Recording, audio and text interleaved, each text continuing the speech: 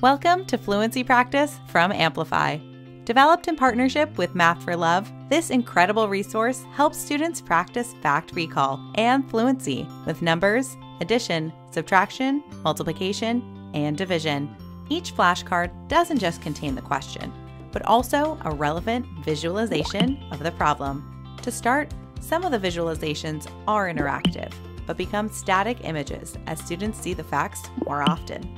When students answer a question correctly, there's a fun sound effect, and the card fills with a bright color. If the answer is incorrect, the card shakes, and students get a second attempt. If the answer is incorrect a second time, the correct answer is shown, and students move on to the next card.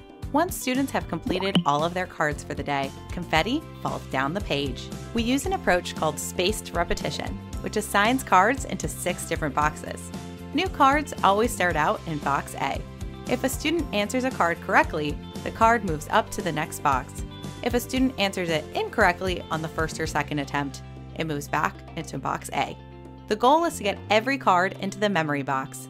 Through independent fluency practice, students will have committed facts to their long term memory. The other important part of spaced repetition is the time intervals between different boxes. Cards in box A are practiced every day. After a card has been in box B for two days, we show it to students again. If they answer correctly, it moves to box C. As you can see, these time intervals keep increasing. We show students a card again just when they might be about to forget it.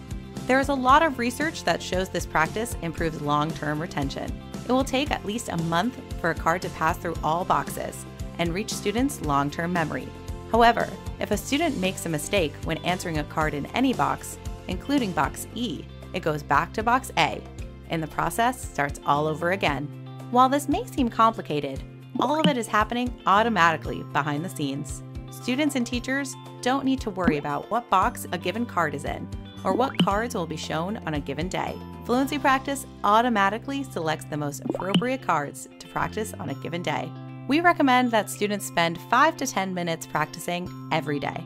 Students looking for more practice on a given day can click into practice mode. In this mode, students see a random assortment of 30 cards that they will have already seen at least once, including cards in their memory boxes. Student answers in practice mode do not impact which box a card is in. Students can practice practice mode as many times as they want in a given day. Teachers can easily assign flashcard sets to students and view their progress on their dashboard. The dashboard will only be accessible to those users who have class rosters of students associated with their account. Once in the dashboard, teachers can select a class and then use the various tabs and dropdowns to access a range of settings and student reports. Students enrolled in a class cannot change the flashcards assigned to them. When they log in to Fluency Practice, they simply see their assigned flashcards for the day.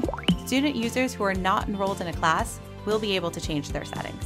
Thanks for watching this overview of Fluency Practice. We hope it helped you get ready to start working with Fluency Practice.